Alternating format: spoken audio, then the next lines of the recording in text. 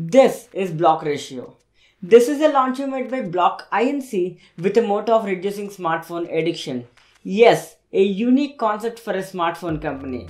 It's like having the text smoking kills on a cigarette packet.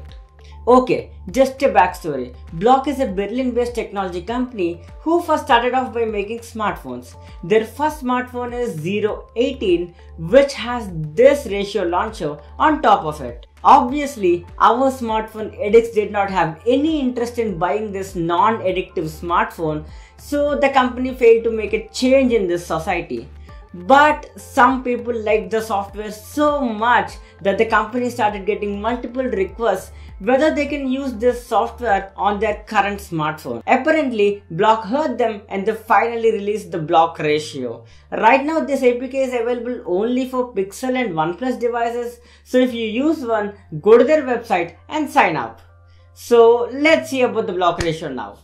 So this is how the homepage of Ratio looks like. Black theme, minimal and elegant. There is another page once you swipe right and this can be compared with the widget screen on other Android phones, but it has much better functionality. So let's go back to the home page now. Swipe down for the folders to open or close and if you see clearly to the side of these folders, there is this time.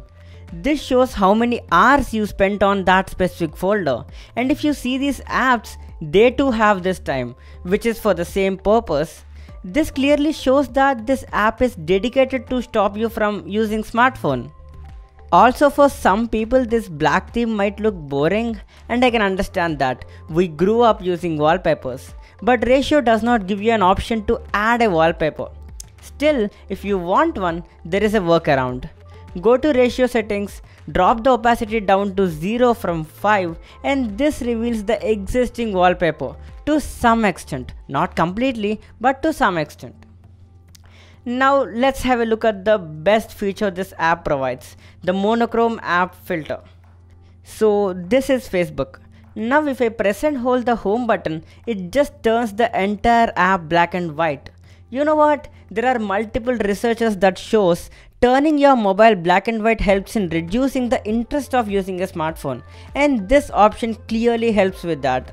Also, not just Facebook, it can turn any app into black and white. Even while watching movies, you can do this.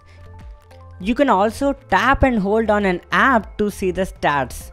This shows you the storage used, detailed information of when you opened the app, and how much time you spent on that app. There is also an option to customize the color of icon Options are limited, I mean colors are limited, still you can use that option. You also get three different modes, the normal mode which is this and then the focus mode and the sun mode.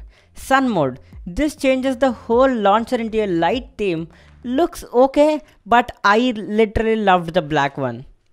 You can tap to focus mode which according to the company changes it to the more minimal theme which I really feel it's not minimal.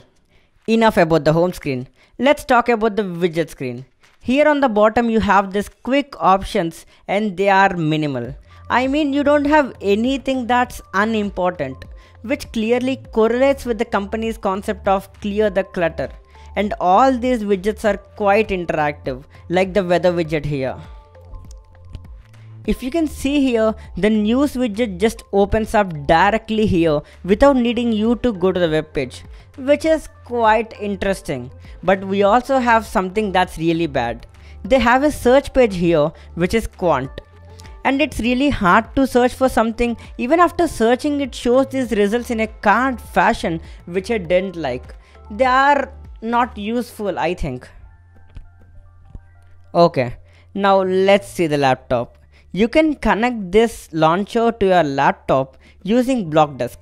This gives you some cool features like accessing your photos, videos, files and you can transfer data through this without needing a cable which I really like very much. That is quite useful, you know. Even the notes written in Quant are automatically synchronized to the Blockdesk app.